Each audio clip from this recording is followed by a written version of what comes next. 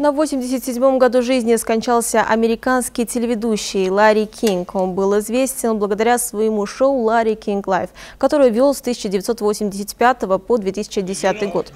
На счету телеведущего более 50 тысяч интервью, взятых у политиков, актеров, спортсменов и других знаменитостей.